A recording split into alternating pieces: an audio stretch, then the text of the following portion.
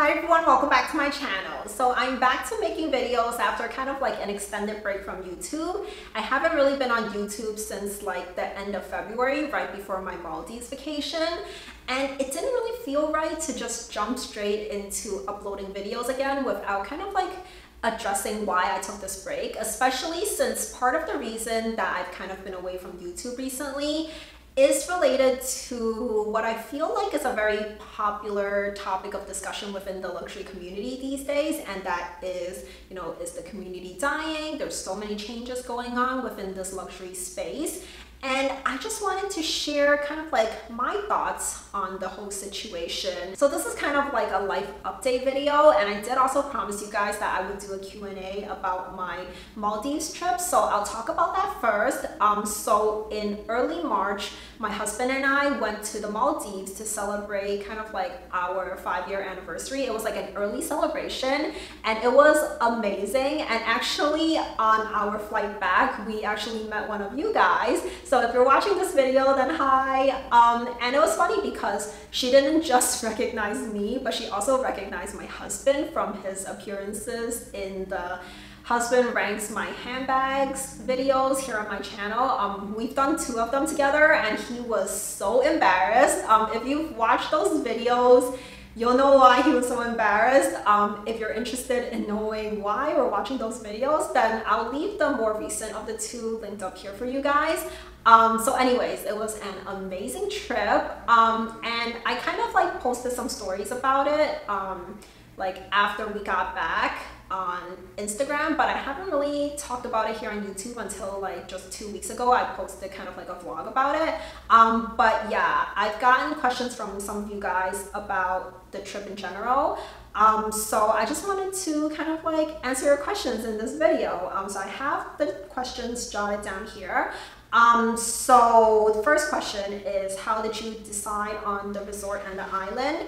Um, so we stayed at the Waldorf Astoria. I'll leave like the complete name of the resort, which includes the name of the island. Um, I'll leave it somewhere on the screen because I don't want to butcher the name of it. Um, and it was so hard doing research and trying to narrow it down to which resort we wanted to stay at. There was like so many resorts in the Maldives and they open like a bunch every single year too. Um, so it was so overwhelming doing this research. I think like after a while, everything sort of like blurred together and I couldn't even like remember what was like special about like a specific resort because like all the names were just like blurring together to me. Um, but I think for me personally, um, food was very important. Um, so I wanted to go to a place where there was a lot of different options for restaurants with like different cuisines. And the other thing that mattered to me was I wasn't sure if I wanted to have to like hop onto like a seaplane to get to um, the resort because like a lot of the resorts like after you land um, in the Maldives, like their main international airport, you have to take like a seaplane to get to the actual resort. And there's limitations to when the seaplanes can run like they can only run in the daytime it doesn't work if it's like rainy weather. I know like some people think it's like part of the whole maldives experience but for me i was just like this doesn't seem like a fun ride to get on. And then like some resorts actually um, you have to take kind of like a um, domestic kind of flight to a different island and then you take like a speedboat from there. So overall, it's a lot. So basically I was like, mm, I'm not sure if I want to take a seaplane and I most certainly do not want to have to transfer to a domestic flight and then get on like a speedboat after that. Um, so when we were looking at the Waldorf Astoria resort, um, they're actually close enough to like the main island where the international airport is that they actually have their own yacht that of course it's not free but basically you just get on their yacht and then like they take you directly to the island and that's it. It's much simpler than like getting on a seaplane which i believe um, since seaplanes aren't run by the resorts themselves those seaplanes actually could make like multiple stops. So I was just like, okay, everything about this resort just sounds great because they have like a good amount of restaurants there too. So that's what we decided on. And yeah, I think we made a great choice. So the next question is how much was everything? Flights, hotel, food. Um, and this was a very, very expensive um, vacation. So the flight um, for the, everything is going to be for two people, so my husband and I. Um, so flights cost us um, just under 10 grand. And as for the hotel, so this is the room itself, it was around 2,800 a night. And oh, by the way, all of this is going to be in US dollars. It's like the, even in the Maldives, it's like the default currency that they have for like their menus and everything. So it was 2,800 a night. And then on top of that base price, you also have to pay like approximately 16% in tax and also they tack on a 10% service charge. So you have to like factor in an additional like 26% to like all the prices you see on anything there, which is kind of insane because that, that's a lot. Um, so we stayed there for six nights. So after like um, the tax and service charge, um, it came out to approximately like 22,000 um, for the room and we stayed in one of the overwater villas which was like the second um, tier of pricing they have. So the cheapest option is actually the Reef Villa and um, there's honestly not that much different aside from the fact that like I feel like the Maldives is kind of like known for the overwater like bungalows, villas, whatever. So we really wanted that experience. Um, but if you went with the Reef Villa, that would have been more like 2300 a night. Um, and then they also have like the beach villas, which I think those cost 3100 a night. Um, so yeah, it was about 22,000 for the room itself. And as for the food, I think we spent between 3,000 to 3,500 throughout the entire stay on food. And that's inclusive of um, the tax and the service charge. And this was for two lunches and also dinners throughout our entire stay. And we don't really drink um, alcohol, so we didn't have to pay the exorbitant prices for alcohol, but we did get like mocktails. Um, so that includes like the prices for like the mocktails, which was like about like 16 to 18 dollars um, base price for like each glass basically um, and I'll talk a little bit more about like the meals that we had to pay for um, because that's like part of the next question. Um, but first I wanted to mention that I don't know which category um, this belongs in for this specific question, but whether you take like a seaplane or the speedboat or like in our case, this like yacht that's owned by the resort, that also costs money and like you can't get out of that fee, like you just have to do it. Um, so for the yacht that we took, it was like, I want to say like $800 a person for like a round trip. So from like the airport to the resort and then back to the airport at the end of your trip, it was like $800 a person plus that 26%. Um, so I don't know say it's like about a thousand dollars per person so i think like overall for the entire trip it was probably like just under $40,000 altogether.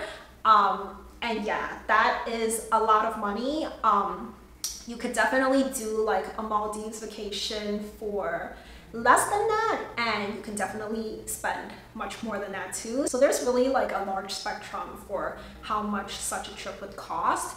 Um, so the next question is, was it all inclusive or do you still need to pay separately for meals? So we chose to just like pay separately for all our meals, um, but they did offer like a half board option and that basically gets you a dining credit of 155 US dollars per night. Um, so that is 121.47 plus like the tax and service charge. So everything comes out to 155 and you can spend that on dinner, um, but it's like limited to which restaurants you can go to. And then that also comes with um, breakfast included too. Um, so they have their breakfast buffet. So you basically don't get lunch. Um, they don't offer like a full board option and it's not all inclusive. Um, but we decided not to go with the half board option because we wanted to go to like a bunch of different restaurants and close to like half the restaurants that we wanted to go to were excluded from the half board that they offered. So in some ways, it might still be worth it even if you don't use the dining credits like every single night. Um, it might still be worth it for some people, but for us, um, since we were like Hilton Gold members, so the Waldorf Astoria is part of like the Hilton like conglomerate. So we had Hilton Gold, which already comes with free breakfast. So we weren't going to, you know, like make use of like the value of this half board option, like for the free breakfast. Um, so yeah, we just decided that it didn't really make sense to pay for this. Um, it made more sense to just like pay for what we wanted to eat like as we ate it. And the next question is, did you book through a travel agent or through the resort? So we actually booked through like the resort. Um, because we tried to book it through Amex Travel and for some reason it didn't let us um, like proceed with like the booking. I don't know what exactly it was. We even like called into one of the agents and it didn't work either. They weren't able to push it through. And also another one of the strange things is that um, when we were looking at like the Amex Travel, um, portal, there was like this extra charge. I can't remember what it was named, but there was like this extra charge um, that actually like made it more expensive to book on Amex Travel. We thought it might have been for like that um, like yacht transfer, but after talking to like the Hilton people, they said that that was like something separate. So it was all very confusing. You know, we just decided to like book it on the Hilton website instead just because like everything was more like laid out in front of us. Um, maybe we didn't get the best deal for it, but I guess like, oh well, it happened. Um, and the next question is, are the showers in the water huts salt-based? Um, and honestly, I don't know. I was using like the water in the sinks to like rinse my mouth when I brush my teeth. And there is sort of like a little bit of like a salty taste to it, I want to say. Like, I don't know, like maybe I was imagining things, but I think there was sort of like a salty taste to it. Um, and another thing I wanted to mention is that like after coming back from the trip, my hair was like so dry so it probably had to do with the fact that I was like swimming in the ocean with the salt water and like even in the pool with like the chlorine um, and just kind of like washing my hair more often. Maybe the water in the shower was doing some damage to my hair too. It could have been the shampoo also. There's so many different like variables, but yeah, I just wanted to mention that like my hair did end up being like a little bit more damaged than I would have liked it to be. Um, and next question is, what was your favorite food there? Um, and almost like all the restaurants were pretty good. Um, there was probably just one that I was kind of like, mm, like it's really nothing special. Um, but aside from that, everything was pretty good.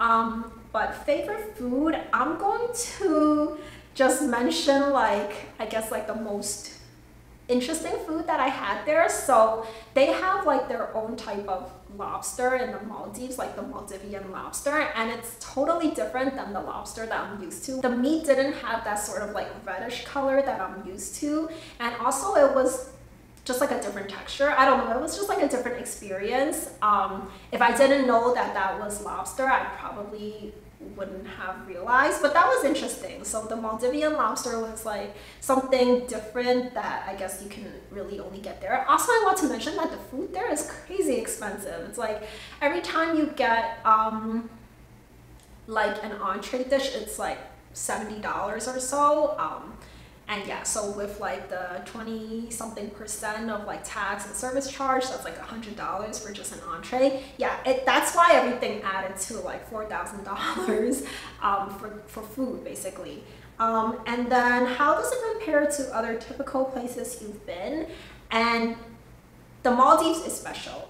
Like, no doubt about it. It's really special. This was like the first time we've stayed at an overwater villa. That was very unique. But in a way, I also feel like I kind of enjoyed going to like Hawaii, for example, a bit more, where you were able to kind of like venture out and like explore more things and not being just like trapped on an island.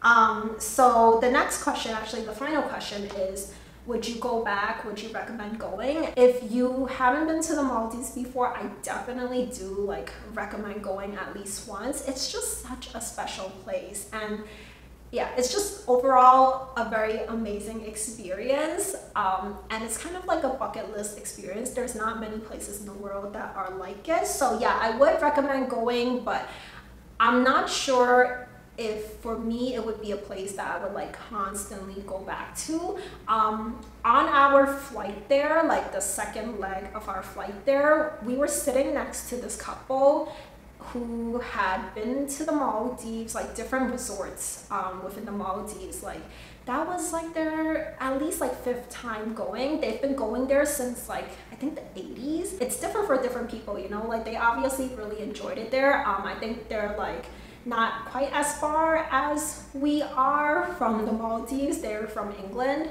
Um, so yeah, I think it's like a matter of like if you like that type of really like isolated like island vacation type of vibe and also like how far you live from the Maldives. Yeah, that all kind of factors into whether it would be like a place that is like a go-to vacation spot for you. So after coming back from the trip, I feel like I had a string of horrible luck.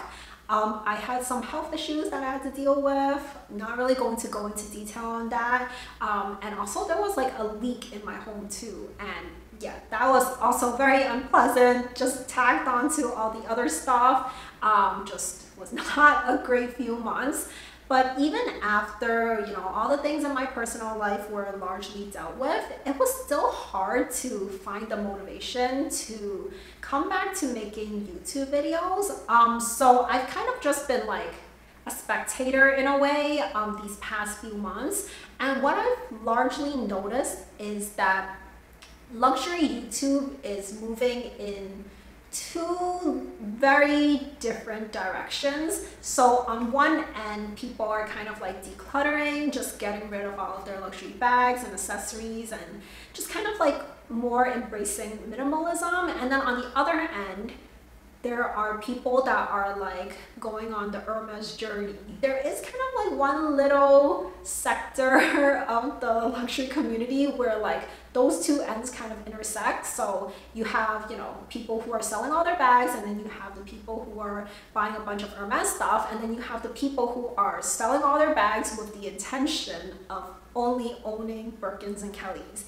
And just I can't relate to that. I guess I'm more closely aligned with the people who are like decluttering everything because prior to my vacation, you know, going to the Maldives was kind of like the furthest we've traveled in a long, long, long time.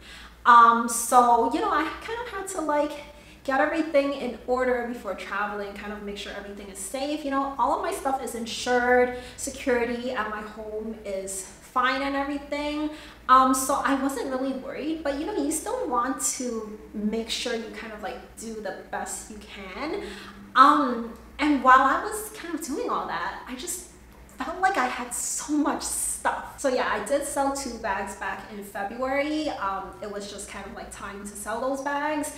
Um, and it made sense to just like sell them before the trip versus like afterwards. Um, and I do kind of like curate my collection once in a while, so this isn't like a new thing. Um, but even though I try to keep on top of like decluttering and curating my collection, I still felt like I had a lot. Um, and the thing is, once you start like decluttering stuff, um, I don't know, it's kind of like you just want to do more of it Like it, it feels good to declutter. Um, so I wasn't just like decluttering like luxury items, but also like things around my home too. And I feel like that is just like a general trend in a way that people are moving in because of like everything that is going on in the world. So I in a way. But for me personally, it's not all or nothing. Um, even though I am like decluttering stuff, I'm never going to, you know, like completely do away with my entire collection. I think in like one of my um, videos towards the beginning of the year, I was like, I'm never going to like completely stop enjoying my luxury items. I'm never going to completely stop, you know, looking at new collections that come out. I'm never going to stop completely buying luxury items altogether. It's not like an all or nothing type of thing for me because I've enjoyed, you know, like luxury items even prior to like being on social media, having my channel, or even like if you look slightly earlier than that, even prior to me like watching other people's YouTube videos, I have enjoyed luxury items. So it's not something that I'm ever going to like completely do away with. Um, and I'll talk about this a little bit later on in the video, but I see why it might seem kind of not genuine when people are watching, you know, like a YouTuber's video where they're like suddenly getting rid of everything, you start to kind of like question, did they ever like the stuff to begin with? Or was it just like, that was what was popular, so that's what they latched onto. I will say though that even though, you know, like I haven't completely lost interest in like luxury, I think my interest has shifted and changed and it's not really the direction that I feel like most people are moving in. Um, so I always say that I really have no interest in accumulating a bunch of Hermes items with the intention of getting a bag. Like I have a few things from them like here and there, but most of the stuff I just bought on their website. You know, I didn't establish any relationship with a sales associate or anything like that. So, you know, like maybe in some people's eyes, those were kind of like purchases where I just like wasted my money because it's not getting me anywhere closer to a bag. But whatever, I just kind of buy what I want from the brand. Um, and I feel like I kind of have a lot of Chanel and I still do enjoy Chanel. I still look at their new collections and maybe I'll like get something here and there. But interestingly enough, the two most recent bags that I purchased, um, one of them is from Louis Vuitton and one of them is from Fendi. And then there were two more that were prior to that that were both Longchamp bags.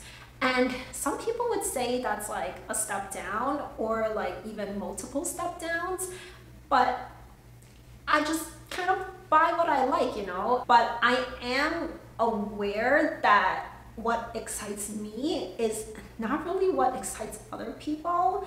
Um, and it's not really what other people seem to want to watch. And it's also not what other people seem to be talking about either. So, you know, um, one hand, I'm not really watching as much luxury content anymore. On the other hand, it's a little bit discouraging to be like making these videos um, and they just don't really do well because they're not like trending topics.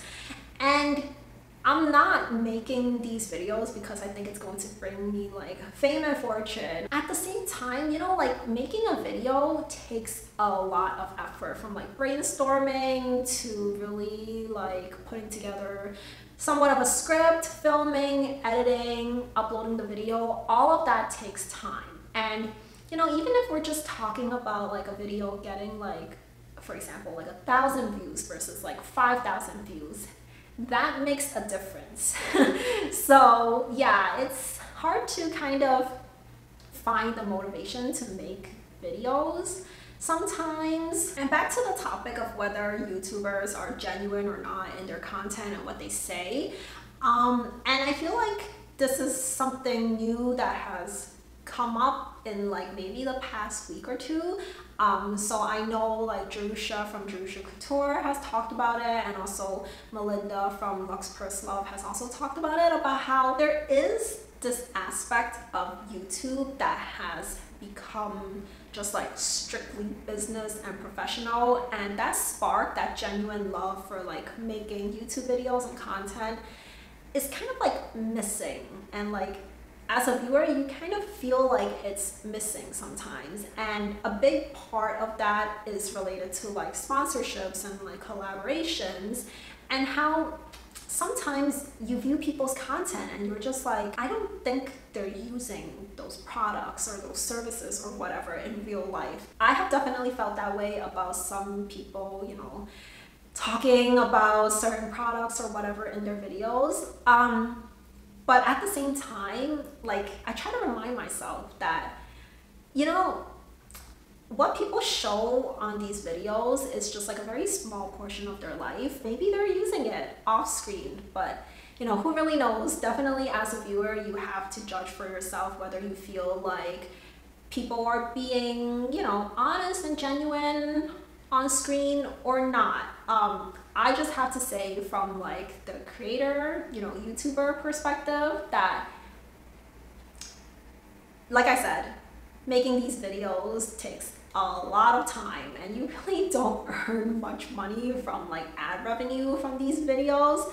So if, you know, like a product is something that I actually like, if it makes sense, if I feel like it makes sense, then I don't really see the harm of adding it into my videos like as long as it makes sense for the video as long as it's not something that's like so out of left field that it's like it has nothing to do with the channel and the content whatsoever then you know I don't really see the harm in adding it. And you know if the viewers you know if they don't they're not interested in seeing that content, they can just skip forward into the video, exit out of the video altogether.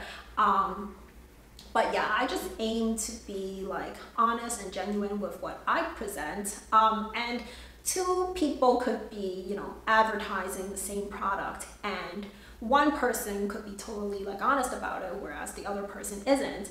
Um, so, you know, in a case like that, just because one person's not honest, it doesn't apply to every single person. And also I feel like as long as, you know, everything is disclosed properly, um, then that's part of the honesty too. And if someone doesn't feel like watching a certain video, then that's totally within their own right. You know, no one's forcing them to. But what I will never understand is why people like hate watch something. I think that is really like the most toxic part of social media.